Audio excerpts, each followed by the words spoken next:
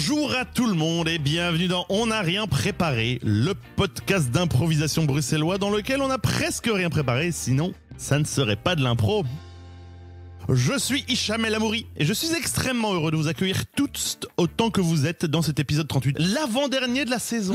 Aïe aïe aïe. Oh là là. Que vous soyez des aficionados du podcast ou que ce soit la première fois que vous le découvriez, que vous vous jetiez dessus à sa sortie ou que vous le sauvegardiez pour l'écouter au milieu des chants quand vous avez le temps, que vous vous installiez dans votre canapé avec un amaretto chocolat chaud et un plaid ou que vous l'écoutiez sur un burner phone destiné à s'autodétruire parce que vous fusillez les services secrets pakistanais, vous êtes tous les bienvenus. C'est long hein, comme phrase. C'était formidable. Comme toujours et comme à chaque fois, parce que on est trois, ça rime. Je suis accompagné de Manu Hennebert. Bonjour tout le monde. Ise Brassel. Salut à tous Je, je, je suis fort honoré de vous avoir, euh, de, de- que nous soyons toujours là, après Ah ces oui. quasi euh, trois ans de... de, Deux heures et beau, de- demie. je- J'allais dire travail. Oui, c'est du travail, mais c'est pas que ça. Tra- Le travail peut être plaisir. oui, de, de, de trois ans de ce podcast, oui, quasiment bientôt. c'est vrai. Oui, oui. C'est beau. C'est dingo. C'est vrai, non? C'est pas dingo. vrai. Non, c'est vrai. Trois, vrai. trois saisons. Trois saisons. Putain Waouh. Trois saisons et Odile Cantero. Et Odile Cantero. Eh, Premier épisode incroyable. Ça va. Ça, on ouais. en est Mais on la retrouve la semaine On la prochaine. retrouve la semaine prochaine. Allez. Alors, voilà. On Moi, je le dis maintenant. Je suis un peu fanboy d'Odile Cantero et donc du coup, je, clairement, j'ose pas lui dire devant, mais par contre, maintenant qu'elle est pas sur cet épisode, je me gêne pas. Bah ouais. Euh, voilà, dit-il en chipotant nerveusement au câble. Oui. ça c'est tout le temps en permanence. c'est- voilà. Euh, ça va, sinon. oui. Mais ouais, super. Nous enregistrons un jour où il y a, euh, il y a de la- une fanfare qui joue par le, par- euh, qu'on entend par la fenêtre. C'est vrai? Il y a un petit, ouais, il y a un Un petit. petit, ouais. Ah oui, c'est parce qu'il y a une académie de musique juste à côté. Ah. Je pense que c'est parce qu'il y, a une f- il y a une brocante. Mais, mais est-ce qu'on commence à donner trop d'indices sur la date, par exemple? Non, ça va. Est-ce, qu'il y a- est-ce que des fanfares à des brocantes, c'est ok? Oui, il y a Ouais. souvent des fanfares dans des brocantes et des Ouais. trucs comme ça. ouais. Ouais, peut-être, ouais, c'est vrai. Moi, je trouve ça ok, les fanfares et les Pourquoi ce brocantes. serait pas ok, Ok. Oui, c'est ça. Non, je sais pas. Je me disais, fanfare et brocante. Est-ce que c'est pas un peu gênant pour les gens dans la brocante C'est ça que tu veux Mais dire voilà, c'est Mais je ça. pense que ça fait Hmm. partie du truc, quoi. Oui, c'est Moi, ça me vrai, fait penser. c'est fête- l'ambiance, C'est euh, l'équivalent d'une fête de village, mais dans, une ça. ville, quoi, en fait. Ouais, c'est vrai, c'est vrai. Moi, j'ai une autre question. Est-ce qu'il peut y avoir une fanfare sans le gars avec son énorme trombone tuba, là, le truc qui passe par au-dessus là? Le corps, sans, Ah. sans le tube, sans le, le, le- le tuba. Hmm. Pourquoi? Parce que je sais pas, ça crie fanfare pour moi. Oui, c'est vrai que c'est. Ah, S'il y a pas Ok, ça je croyais que. Est-ce que c'est pas possible qu'il- Est-ce qu'on peut se que, débarrasser s'il des vous connards avec les tubas, là? Non, Je croyais que c'était ça, justement. genre, qu'est-ce qu'elle a contre les tubas Je pense que le tuba, justement, ça, ça incarne l'image collective Ouais, de la ouais, fanfare, comme ça. Ouais, s'il n'y a pas un gars enroulé dans du cuivre comme une bobine, euh, c'est pas une pas. pas bonne fanfare. Voilà, Sur ces entrefaites, nous sommes là pour environ une demi-heure d'improvisation, trois impros, trois, euh, trois impros avec des contraintes diverses et variées pour le fun et pour le challenge. Euh, Ise a une tête de guerrière. Je, Je m'étire. Elle s'étire. Euh, elle s'étire. Et euh, elle s'étire et c'est elle qui présente la première impro si je ne m'abuse. Non, Non. c'est Manu, Oh. ça n'a rien à voir. Manu, euh, à vous les studios. Et oui. Et ah, on n'a rien préparé. Nous sommes conscients et conscientes que notre auditorat est exigeant et engagé. Alors, pour vous flatter, euh, par conviction, nous tenons à vous proposer des débats de fond sur des sujets brûlants. Hicham et Ise incarneront donc Ça va être n'importe quoi, je le, je le sens venir. L'improvisation suivante. Vous serez les partisans et partisanes de thèses irréconciliables, tandis que je serai l'animatrice de cette mise à mort verbale, pour le meilleur ou pour le pire. Le sujet du jour, pour ou contre les orteils. Hicham, Oh, tu seras pour les orteils. Ise, tu seras contre les orteils. Snappity snap. Je sens que la tension monte déjà dans les studios. Putain, c'est Attention. dur, ça va être dur, ça va être difficile. C'est parti Bonjour mesdames, messieurs, et bienvenue sur euh, Podologie TV, euh, l'émission et la chaîne qui s'occupe de vos pieds, pour vos pieds, par vos pieds. J'ai avec moi pour euh, le débat du jour deux experts et expertes qui ont qui avancent à grands pas dans cette jungle urbaine qu'est la podologie. À ma gauche, est-ce que vous pouvez vous présenter s'il vous plaît? Bonjour, je m'appelle euh, Fun. Bonjour Fun. Et euh, voilà, ça, cela fait euh, à présent longtemps que je euh, que j'aime les orteils. euh, les pieds en général et tout- tous les appendices de manière générale plutôt euh, plutôt euh, préhensiles et voilà préhensibles. Merci, merci beaucoup. Effectivement, euh, merci d'introduire à ce sujet le, le sujet du jour. Pour ou contre les orteils? Vous, Fune, vous êtes pour. Et à ma droite, Je suis le docteur Vermillon. Et moi, et mon savoir, et ma science, et ma connaissance, nous le disons clair et fort, les orteils sont inutiles, voire même nocifs pour la race humaine. Merci. Alors évidemment, vous n'êtes pas là par hasard. hein. L'actualité brûlante nous a amené à modifier euh, notre euh, programmation pour vous inviter. D'ailleurs, merci euh, d'avoir répondu euh, par De rien, de affirmative rien. à cette, euh, à cette invitation. Euh, que penser euh, de cette vague de- d'automutilation hein, de de- d'adolescents et d'adolescentes qui se sont coupés les orteils? Euh, Monsieur Fune, votre réaction à chaud par rapport à cet événement troublant? Ah bah, bah, je trouve que c'est du beaucoup de gâchis, euh, surtout que euh, les, orteils sont irrécupérables et donc c'est fort dommage. euh, voilà, enfin c'est un peu la flexibilité du pied qui en prend un coup de manière en moyenne sur l'humanité et, voilà, enfin c'est- déplorable et j'ai l'impression que c'est une stigmatisation et c'est contre l'inclusivité pédestre. Eh bien, mais justement, parce que donc ces, ces jeunes ont euh, déposé un, manifeste dans lequel euh, ils disent que euh, qu'elles justement ne veulent plus faire partie de cette, euh, de cette population ongulée.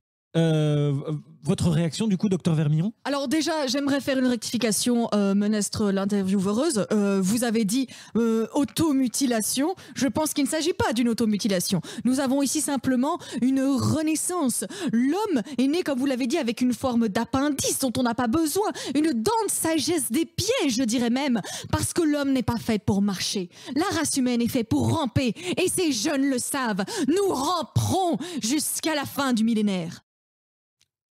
Fune euh, Ah bah, moi, je, je, voilà, je, pense qu'il y a un problème fondamental de, désaccord sur, euh, sur euh, ce qu'est l'humanité. Moi, pour moi, l'humanité est destinée à revenir aux arbres.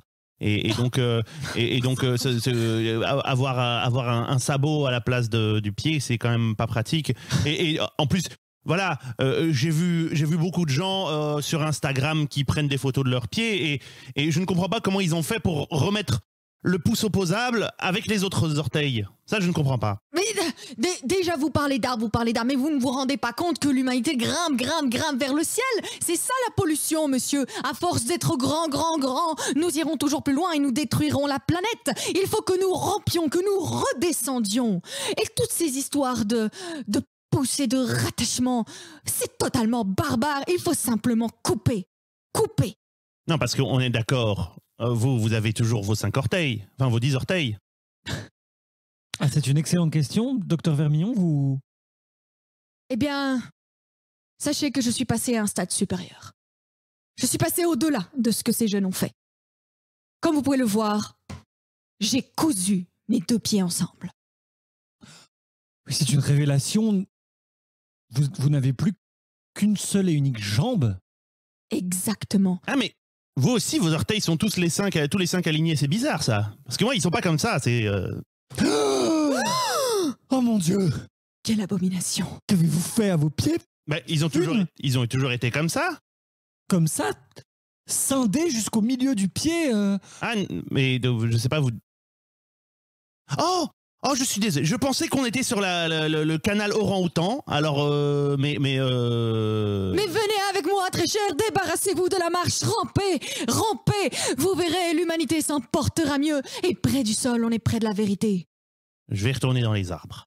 Non, non, non, revenez, revenez, revenez, s'il vous plaît. Faites quelque chose. Eh bien, écoutez, l'un de nos invités a quitté le plateau. Je, je pense qu'il nous faut donc euh, euh, arrêter ce débat. Euh, Je rampe pour le rattraper. Oh mon Dieu, je crois que c'est un grand moment de télévision qui s'écrit comme ça devant nos yeux. Je pense que le docteur Vermier est en train de devenir un serpent. Attendez, appelez la sécurité Que quelqu'un fasse quelque chose Merci. Je dis, euh, Fun, je dis, c'est vraiment un nom de merde. C'est genre- fun, mais Ok, en fait, c'est pas un vrai être humain, c'est un orang-outan déguisé en, en. Enfin bon, je, pense que je suis allé un peu loin dans le. Non, mais c'est très bien. Ça a amené à des, à des positions vraiment irréconciliables entre en fait les serpents et les orang-outans. Oui, c'est ça au final. C'est ça. Le problème, c'est que si t'as plus qu'une seule jambe, t'es quand même. au- Vu qu'on a l'articulation du genou à l'avant, Oui. c'est plus pratique de sauter à pied, de, de sautiller que de ramper en fait. Euh, mais le but Faudrait après, se c'est de casser les genoux. Ah waouh Tu Comme on pile de la glace, clac, clac, clac. De liquéfier tes, liquéfier tes os des jambes. Et en fait, tu te déplaces comme une amibe, Voilà. précisément. On peut être que du muscle ça. comme ça. Il y a un sort pour ça dans Harry Potter. Mais Comment j'y pensais à la base. euh, Ah, qui, oh, qui enlève les os. là, ouais. Racla, Mimendo, un truc comme ça. Alors- Oh là là. Ça, je ne saurais Oh là là. pas. À vérifier. Je, vais Ouais. je vérifierai tout à l'heure. Ouais. Bien. Ah oui, c'est moi qui. J'aime la parole est à toi. Bah, oui ou pas, hein, si vous avez des réflexions, vous avez le droit aussi. Hein, je veux pas faire le tyran, hein, c'est- horizontal ici. J'aime bien Fun, Fun comme moi, comme non, ça faisait un petit peu euh, artiste de slam contemporain. C'est presque foun, mais non. Avec un Ah oui. tréma, quoi. Un tréma sur le U. Ah ouais. ça- Fun, ouais, c'est ça. Fun. J'avoue. Un peu fauve. F-U-H-N, ouais, c'est ça. Ouais, il y a quelque chose. Bonjour, c'est Fun. Que, genre, il y, Ah, a- c'est ouais, fini. il y a toutes les, les chanteuses scandinaves qui ont des noms avec des Oui, trémas, ça. des, des, des petits ronds là et tout. euh. Comment ça s'appelle ce truc d'ailleurs? Je ne sais pas. Un accent. Ah là là. Il y a un seul rond au-dessus. Euh, je ne sais pas, j'ai- j'y suis mis, je ne sais plus. Eh ben, et Il est sur un de mes, nor- de mes oreilles. d'ailleurs. le, rond, le J'ai rond un en A question. avec un Elle O. a l'original, Il se dit E. celui qui a été fabriqué à la base avant qu'on en rajoute sur tous les noms des Scandinaves. Là, elle avait le premier et elle l'a mis sur son. Eh oui C'est moi. Et nous allons continuer cette émission avec euh, la deuxième euh, improvisation, la deuxième série de scénettes euh, qui va être présentée par Iseux. Et oui, Vive les Mesdames, scénettes. messieurs menestres, je vous propose euh, une improvisation question. C'est un peu un concours, c'est un peu une improvisation, c'est un petit peu des deux, d'accord? Je vais lancer euh, d'abord un lieu, et dans ce lieu, Hicham et Manu improviseront, mais uniquement en se posant des questions. Et si à un moment, j'estime que non, c'était pas une question, euh, je vais faire le son qui veut dire tu es exclu de cette improvisation et je prends ta place pour moi aussi jouer une improvisation où on ne pose que des questions et ainsi de suite. Est-ce que vous êtes prêt prête à improviser en vous questionnant? Yes. Yes. La première, Yes. Ouh, la première improvisation, Qu'est-ce qui s'est passé? Je suis pas sûre. La première improvisation aura lieu sur le pont d'un bateau de croisière. Et c'est parti. C'est beau, n'est-ce pas Vous aussi, vous aimez vous plonger dans cet infini Ça fait longtemps que vous venez. Ce n'est pas votre première fois. Comment croyez-vous que j'ai accumulé tous ces galons Vous voulez bien me raconter Vous voulez la version courte ou la version longue Est-ce que nous n'avons pas le, le temps de nous prélasser des heures durant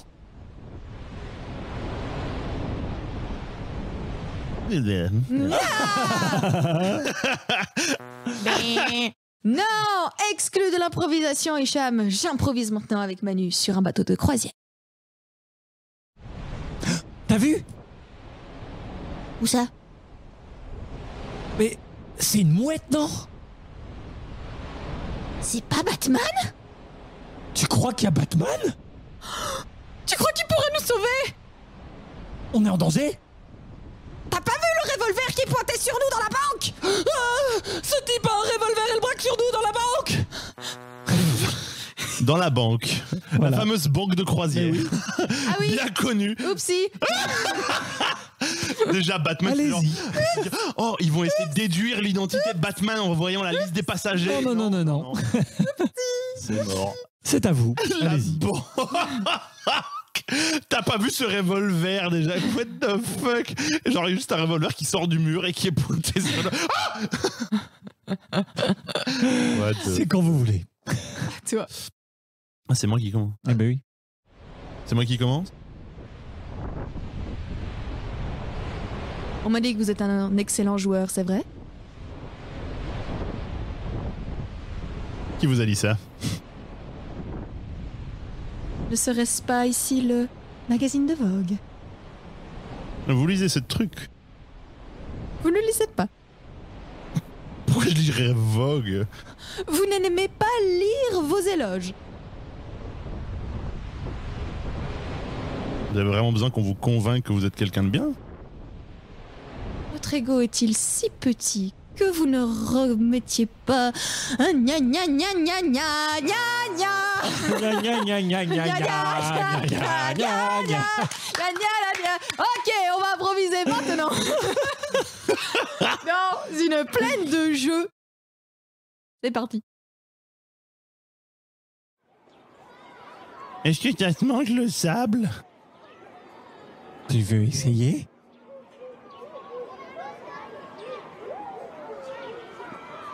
Tu viens ici avec ta maman?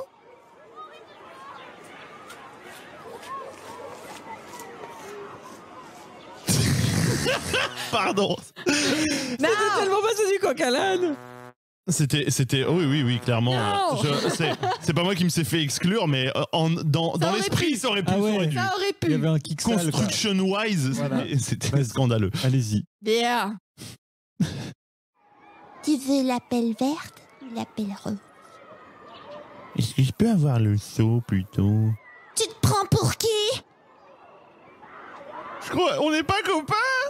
Tu sais pas qui je suis? Émilie? À ton avis, la chef de la plaine de jeu, c'est qui? La madame qui nettoie? Pourquoi es-tu toujours autant dans l'erreur, Jonathan? Parce que j'ai 6 ans? Est-ce que t'as pas passé l'âge de, par- de venir à la plaine de jeu? T'as pas 15 ans, toi?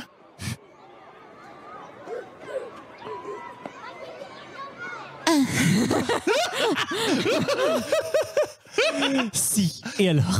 Si. Gna gna gna. Euh, C'est parti.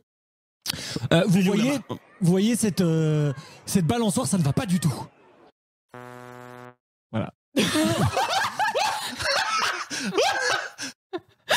Ça ne va pas du tout. C'est con parce que ça avait bien commencé, vous voyez, c'est balançoire. Oui. Ça aurait pu s'arrêter là. Et... Ça ne va pas du tout. T'as la marchandise? Tu veux le gros paquet ou le moyen paquet? Je peux avoir combien pour 20, 20 balles? T'as pas les 50 euros que je t'ai demandé? Tu- Et si, si- si j'ai 30, ça va? Tu crois que je distribue des Kinder Bueno de pacotille? Des Kinder Bueno? T'as pas du shit. Je veux du shit. À ton avis, pourquoi je suis là? Pourquoi j'ai un capuchon et des, un masque et des lunettes de soleil? Tu veux pas mes Kinder Bueno Coco Smart? J'ai- T'as pas entendu qu'il y avait des bactéries là-dedans? Je vais mourir. Pour avoir vendu des Kinder Bueno Coco Smart. Donc t'as définitivement pas de shit Qu'est-ce que je vais devenir Mais pourquoi tu gueules Tais-toi Tais-toi Pourquoi tu gueules Tais-toi, tais-toi Ah ouais, c'est finir avec, c'est vrai. Ça, Pourtant, ça avait bien commencé. Mais oui. Pourquoi tu gueules Ah, J'adore, cette, euh, cette euh, méprise était fort goûtue. N'est-ce pas? Mais oui. Eh bien, nous allons continuer tout ceci dans une fête de mariage. Oh yes. Oh yes Et, attendez, c'est qui du coup? C'est vous deux. Ah oui, c'est nous deux. Nous deux. Très bien. Vous passez un bon moment, vous? Vous trouvez vraiment que le champagne est goûtu? Et vous avez vu la tête de ces petits fours?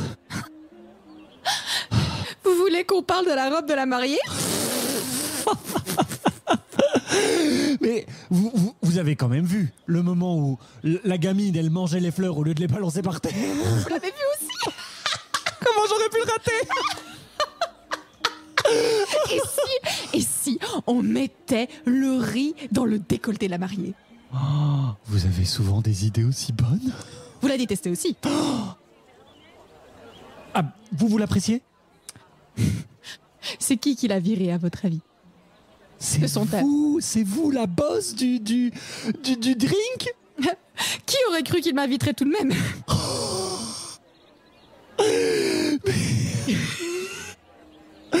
Mais je me demandais comment ces gens avaient rempli leur liste d'invités.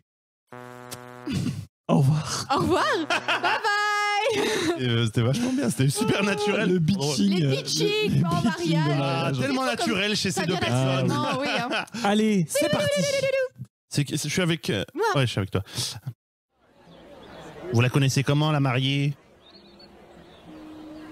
Euh... C'est ma mère.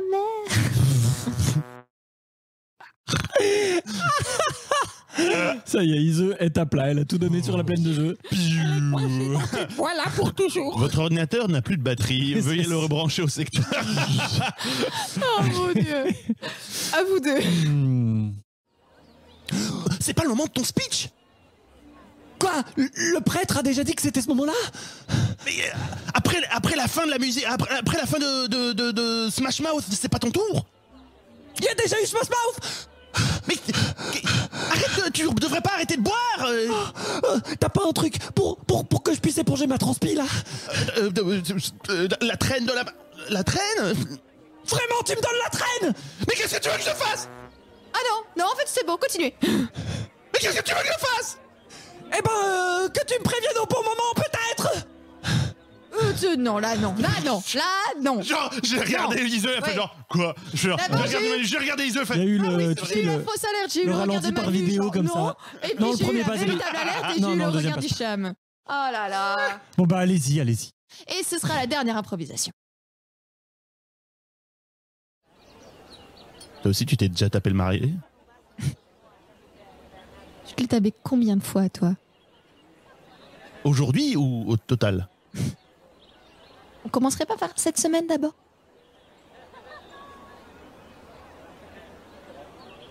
Trois, quatre Est-ce qu'on recommencerait pas Est-ce que ça te démange En bas, là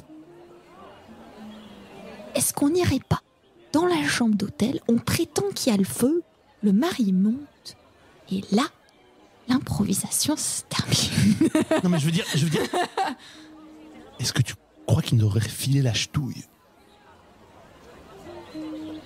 C'est ça que ça gratte. Vous avez mis des capotes? Je m'en pose ces questions. C'est gênant. Tu n'avais qu'à Eh, j'avais envie de rajouter parce que nous, non, mais euh, ça aurait plus été une question. Oui. donc, euh, Mais non, mais. Mais euh, c'était sous-entendu. C'est ça la beauté de En plus, j'avais déjà, j'avais déjà pas, posé une question avant. Ah bon? Mais oui. Non, avec Bah non, c'était pas mal. Par contre, Non, on dit qu'il y a le feu, le marié monte. Il va plutôt se barrer. Oui, Oui, bah et. ça n'avait pas vraiment. Il y a le feu à leur cul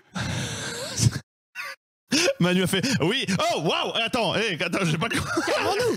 Calmons-nous. non mais c'était trop drôle parce qu'elle elle a fait oui oui. Hé, attends, c'est pas. Qu'est-ce que c'est du coup, j'imagine l'alerte, le feu au cul du marié, tu vois. Alerte feu au cul Oh Alerte feu non, au non, cul non, vite, vite Veuillez monter dans la chambre immédiatement. Grand Dieu. Et éteindre l'incendie. Oh Dieu. Il y a eu des moments de beau bug. Oh non. Mais c'est non. pour ça qu'on aime non, cette je impro. pense pas. Non, Fluide. Ise, fluide. elle a fait le coup, le truc du bitching sur le, la- le- le bateau de croisière et après genre éteint. Extinction des feux. Et, et, et, et. Non, il y avait les, les Kinder Bueno, Eh euh, là, je me suis Coco, donné à machin. fond, hein. euh, Oui oui oui, c'est vrai, c'est vrai. Ouais. Autant pour moi, c'est vrai. C'est C'était après que ça a un peu. Bon, moi, je peux pas trop parler. Enfin, je veux dire. J'étais clairement le, faire-valoir de cette impro. Oh, pas du, Quoi pas du tout, ma chérie. Pas du tout, ma chérie. vous passiez comme ça de l'un à l'autre et Ok. Euh, eh bien, Voilà. vous savez quoi? On va on va passer à la troisième impro. Avant Ok. que. Ah oui, encore une good. impro, waouh. Ok, ouais bah oui. waouh Eh ouais. Eh ben, waouh Présenté par Hicham. Qui mais c'est c'est ce type? Oh là là, mais Mais- il est beau. ah oui Ah oui.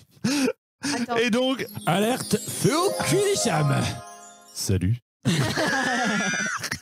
Euh, et en- on va dire en, en- en- en première dans, dans le podcast, nous allons faire euh, un- une, une impro à la manière d'une tragédie grecque pour, je pense, le, le grand enthousiasme de, de, d'Ise Wow. et de Manu qui, euh, qui gémissent d'avance. Hmm. Euh, wow. Euh, Et donc, c'est une tragédie grecque. Enfin, voilà. Si vous savez pas ce que c'est, les gars, bah, Cultivez-vous un peu. cultivez-vous, bande de philistins, quoi. Sortez de votre trou. Parce que Iso et Manu, peut-être que vous ne savez pas ce que, ce que ça implique. Iso et Manu, j'ai l'impression, ont une idée très précise de ce que ça implique. Oh Et euh, le moment où j'ai suggéré ça en off, euh, j'ai cru que l'ordinateur ait explosé. Euh, donc, euh, je vais leur mettre une petite bande son pour, euh, pour euh, enjoliver tout ça, pour euh, nourrir tout ça. Et, euh, et elles vont jouer une scène qui va être inspirée librement du mot bataillon. Bataillon. Bataillon, c'est par qui?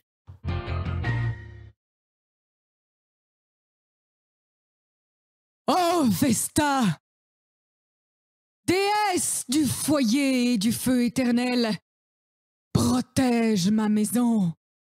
Moi, roi Minias, suis menacé de par l'intérieur. Ma sœur Hermie est revenue du pays des Gées. Le peuple est de son côté. Que faire?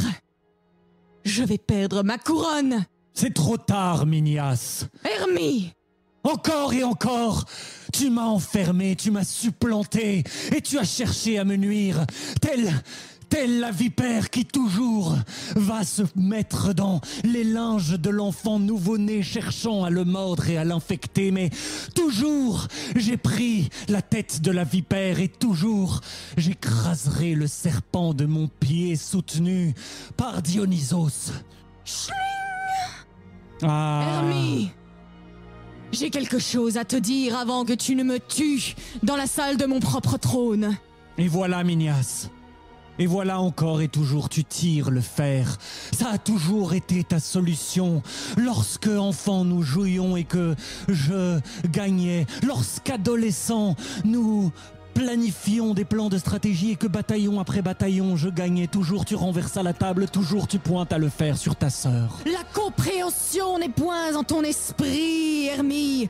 Ce que j'ai à te dire est de la plus haute importance. Les parents n'ont pu te le transmettre, la mort les ayant importés plus tôt. Mais sache qu'Apollon est apparu à ta naissance. Apollon est apparu à ta naissance. Apollon est apparu à ta naissance. Il a transmis, messager du ciel et du soleil, que tu serais la perte de ce royaume et du continent, et qu'un jour tu viendrais muni d'un chiffon, et ce chiffon mènerait la fin de ma dynastie. Comment? Tu te trompes et tu me trompes encore. Non, jamais. Dionysos est celui qui qui s'est penché sur mon berceau. Dionysos est celui par lequel j'ai vécu. Dionysos est celui par lequel enfin je vaincrai. Mais mais ce chiffon, Ce chiffon. ce chiffon, je l'ai amené avec moi. Je ne pensais pas alors à mal, mais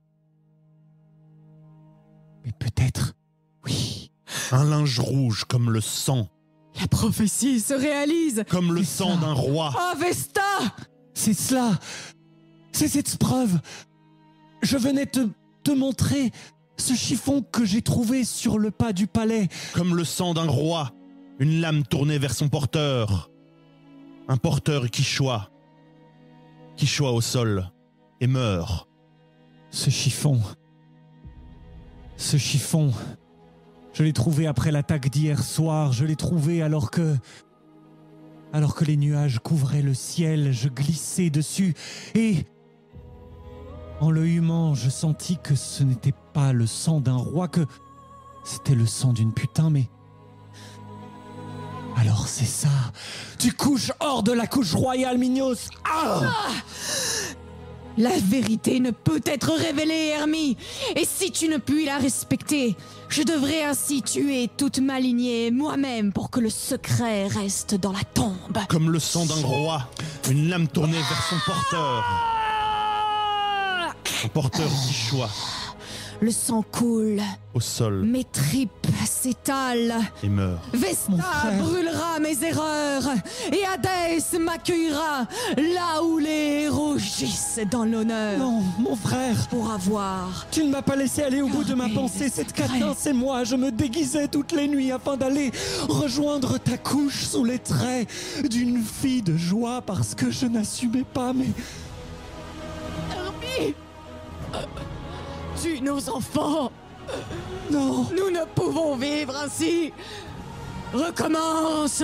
Le royaume a besoin d'une lignée propre. Les déesses de la vengeance ne seront que trop prêtes à venir nous salir. Fais-le. Donne-moi ta lame je te rejoindrai dans la mort et peut-être les dieux seront-ils plus cléments de l'autre côté de l'Achéron et peut-être nous pourrons enfin vivre selon nos lois même si ce ne sont pas les lois que les hommes approuvent. Le sang d'une putain. Une lame tournée vers sa porteuse. La porteuse choix. Et meurt heureuse. Mon frère, Hermie Vivant, je vivais loin de toi. Laisse-moi t'enlacer enfin dans la mort.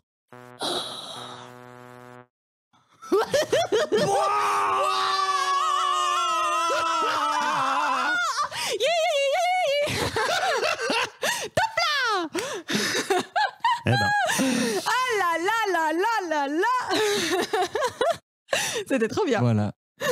ah, je crois qu'ils auraient contente. apprécié. Oui. Moi je suis pas aussi. sûr. Je suis pas très Je sûr. montre un petit peu moins, mais à l'intérieur, j'explose de joie aussi. Oh mon dieu C'était bon. rappelle les premières années à l'IAD quand j'ai joué mes Oui. dés. Oh bordel Au secours Moi, c'était dans Phèdre. Phèdre Je jouais oh. Terramen. Mm.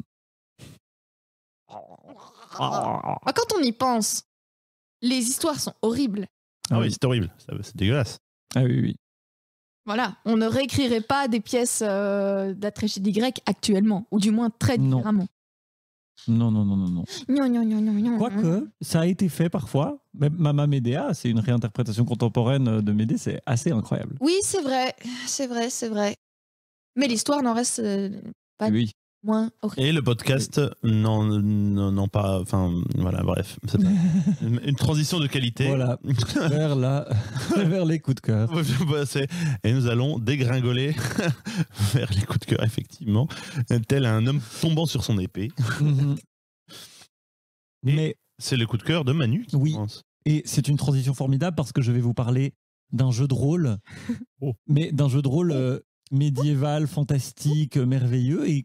Qui, pourquoi pas, pourrait jouer de la tragédie. Il s'agit d'Oltré, un jeu du Grumpf.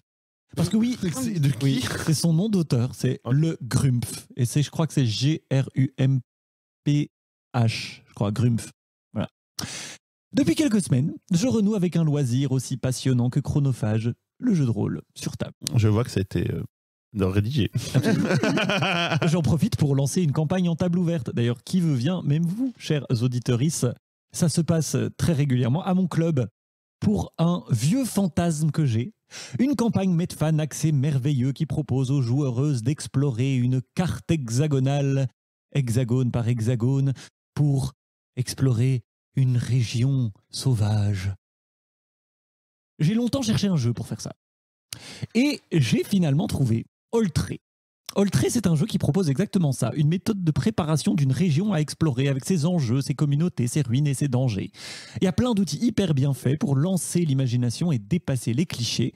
Et le jeu propose aussi, pendant la partie, de faire tirer des cartes de péripéties aux, joueurs, joueuses, qui s'appellent des cartes de patrouille, pour qu'elles proposent, colorent et s'approprient la région qui s'ouvre à elles. Bon, le système de résolution est pas ouf. Heureusement, une amie m'a filé sa version maison qui est beaucoup mieux. Mais pour le reste, c'est vraiment une énorme machine à créer des histoires, à lancer l'imagination. Et ça fonctionne très, très, très, très bien. Donc, ruez-vous dessus. Et si vous voulez vous aventurer dans le Val d'Opale, rendez-vous au Seigneur du Chaos. Les portes sont ouvertes. Patrouille Rassemblez-vous. Wow. Je vis ma meilleure vie. Manu a fait un Manu. Merci beaucoup, Manu. C'est trop bien.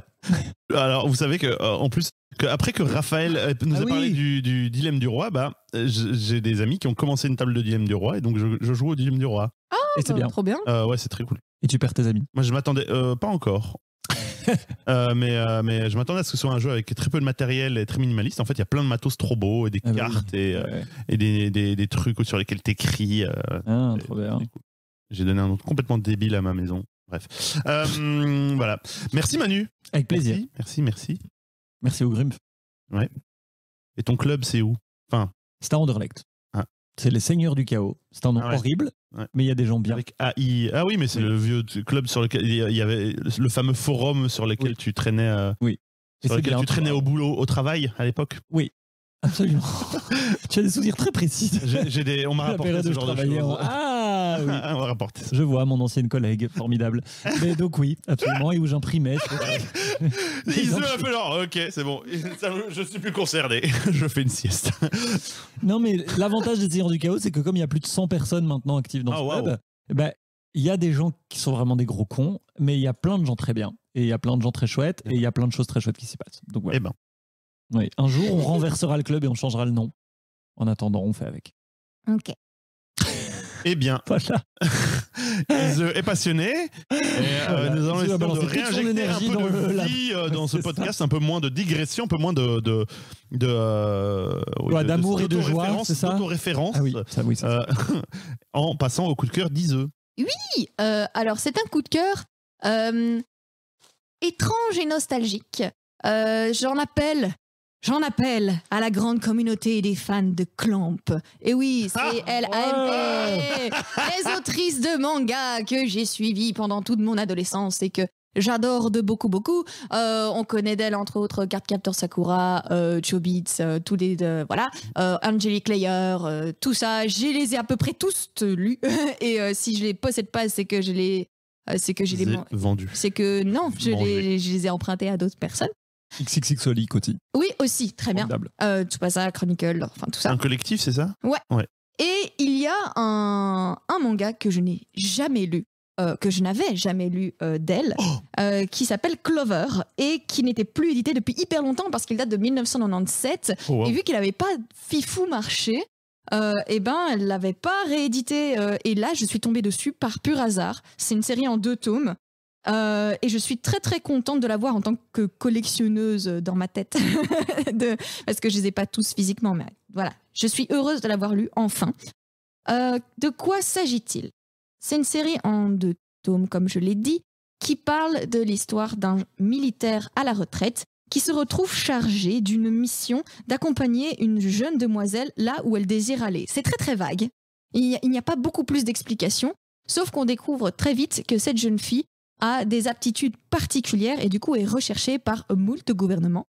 Et que ne serait-ce que l'emmener dans une, euh, un parc d'attractions, c'est déjà extrêmement dangereux. Euh, c'est comme pour la plupart des séries de Clem très poétique. Il y a beaucoup euh, des, des phrases catchy qui reviennent euh, pour un petit peu hanter euh, le lecteur ou la lectrice. Un petit peu chiant, je dois dire, au bout d'un moment, parce qu'il y a pas mal de pages qui sont reprises avec une chanson. Re- Repense à ton passé Oui, voilà. C'est très poétique dans ce genre-là, mais il y a vraiment des dessins exceptionnels. Et euh, je pense que ça vaut le coup d'être lu euh, pour les dessins. Et surtout, c'est une histoire à l'envers, qui euh, commence par le dernier chapitre, puis le chapitre Hmm. milieu, puis Alors, le ça, premier. les mangas se lisent de droite. Pardon. Tu me prends pour une amie. C'était trop Tu me facile. oui. oui, très bien joué. Je pense qu'on peut Franchement, c'est génial d'apprendre de commencer par la dernière page. C'est un peu compliqué de suivre, mais Pardon. Quoi qu'il en soit, les collectionneuses de Clamp, du coup foncez, trèfle est de nouveau paru. Profitez-en. Trop bien. Et c'est cool pour un manga d'être en deux tomes. mais Oui, il y a, y un autre truc comme ça qui s'appelle l'arme ultime, qui est un truc en, qui, qui est un truc de ouf. euh, qui, je trouve qu'il y a des, il y a des thématiques qui résonnent avec ça. Le site Clamp? Pas du tout, mais euh, qui est un, un truc. euh, je sais plus si c'est en un seul tome ou en, en, en un- je crois que c'est en un seul tome. C'est euh, ultra touchant, euh, très beau et très tragique. euh. Toujours tragique. Ouais. Trop bien, Clamp. Euh, ouais, Chobit, c'est Cripos de l'enfer. Hein. Ouais, mais il y a beaucoup, même ici dans Attends, Trèfle, Chobits, c'est avec euh, les, ar- les, les gens qui ordinateurs. passe de, de monde en monde. Non, non, c'est euh, la, la- fille, la, fille, oh, la fille artificielle là, qui est une sorte de, Ah, de femme enfant comme ça, et le mec il, il Il a il l'a, il fait redémarrer en, en- voilà. Excusez-moi. Ouais, et c'est vraiment, Voilà. c'est vraiment genre Cripos de l'enfer quoi. Mais même Trèfle, il y a des trucs un peu cripos de l'enfer aussi. Mais voilà, j'ai- c'est pour ça que c'est un coup de cœur nostalgique et de collection, mais j'ai tout aussi ce, recul maintenant sur hmm. l'écriture de Clam qui me fait. Mmh. Très hmm. sexualisant, ça. Et, en plus avec des filles qui sont euh, montrées comme très jeunes. Ouais. Ah oui. Euh. Mon coup de cœur Oui, Sam sors Donc, euh, elle, parle de nostalgie, mais ne vous recommande pas de lire, apparemment. Ah, si, je vous hein. recommande de, de, lire si vous êtes des, collectionneuses. Avec du recul. Avec, du, recul, évidemment. 97, quand même, parution de ce truc. Alors moi, je vais vous parler d'un album de musique qui s'appelle ah. Mr. Experience par Denis Bennett. C'est un album sorti le 22... Tu connais? Je crois, oui. Ah, tu sais, sorti le 22 mai 2020. Denis Bennett est un Australien qui... Enfin, j'ai écrit le truc et j'ai écrit qui surfe sur la vague. Je fais, oh, j'ai pas fait exprès, j'ai fait une blague. Oh, oh, oh. Ah. Donc, il surfe sur une vague de funk post-smooth euh, jazz, disco, comme ça, avec plein de synthés, des, des, grosses boîtes à rythme et des basses qui groovent comme pas possible. Euh, ça, c'est les années 80 à plein pif. Euh, c'est ultra funky. Ça fait, ça fait un peu des blagues sans en avoir l'air. Avec, une sorte de voix de crooner de ligue locale, comme ça. Et une dégaine, tu vois, de l'oncle loser qui vend des matelas à eau dans les années 80 dans les centres commerciaux. Oh, ah, t'as vu ce film Ouais. Bref. Euh, c'est bourré de charme et c'est aussi super. C'est plein d'autodérision et c'est faire la musique très sérieusement sans se prendre au sérieux soi-même. Et ça, ça c'est un peu mon, mon dada. Mm. Euh, le premier titre, titre de l'album qui porte le, le, nom de l'album, donc Mister Experience. Et c'est devenu une nouvelle musique officielle d'entrée quand je présente des catchs. Donc, euh, c'est dire si je suis. Ah si je suis à fond dedans. c'est une énorme découverte musicale pour moi. Ça tourne j'écoute blindé, ça tourne en boucle. C'est de la grosse balle. C'est extrêmement funky. Euh, je vous le recommande vraiment très très chaudement. Surtout ses basses. Les basses, euh, il joue de la basse comme un, comme un malade. C'est très très très très bien. Mister Experience de Denis Bennett. Et pour expliquer la ref, allez voir euh, Licorice Pizza. Licorice ah, Pizza. Ah, Licorice Pizza, c'est excellent. Il y euh, l'actrice principale, c'est euh, Elena Alana Haim qui est une chanteuse de mon groupe préféré, Haim. Ah ouais? Ah, ouais? Marrant. Oh, wow. Et ben voilà. Ben merci, ouais. trop bien, je vais aller écouter parce que à chaque fois quand tu fais des coups de cœur musicaux, quand je vais les écouter, je suis genre, eh ouais. Et tu sais que je me retiens de faire des eh trucs ouais. coups de cœur musicaux que tu connais déjà, rien que pour ça. Oh, trop chouette. genre, faire euh, Cadillac, hmm, non, Manu connaît déjà. Ah en fait, il était sur une playlist que j'ai écoutée. Ah. C'est ça que ça me disait un truc. Et euh, c'est de la grosse balle. Et tout l'album est très très bien. Trop cool. Voilà. Eh bien, avant, avant de, se quitter, Manu va nous faire un, un, un, un Utip pas piqué des hannetons. Bien non.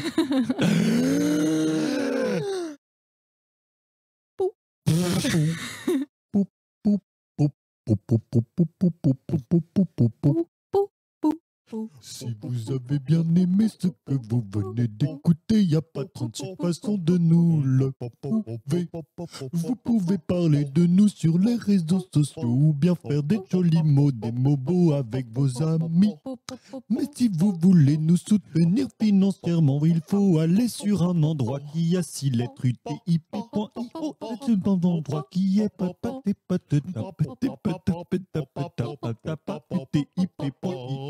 vous pourrez nous donner la somme que vous déciderez de manière ponctuelle ou récurrente. Ça nous aidera à, financer notre podcast et toujours produire un entendant.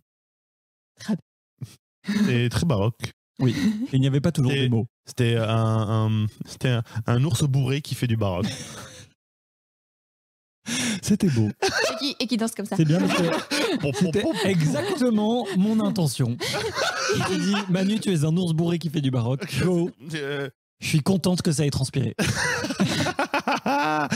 Excellent. Eh bien, chers, euh, chers auditeurs et auditorices, nous, c'est, c'est la fin du dernier épisode à où nous sommes que trois. Mais oui. La semaine prochaine, nous retrouvons Odile Cantero. Euh, Wow. Odile fucking Cantero. Au grand Pour plaisir le des grand chats. final. Fan- fanboyisme complet.